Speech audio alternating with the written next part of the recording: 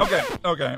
So I know the right answer, and I know the wrong answer. What are you going to do for me here? Oh, um, I I will uh, I'll go to prom with him, but I'll make out with you afterward.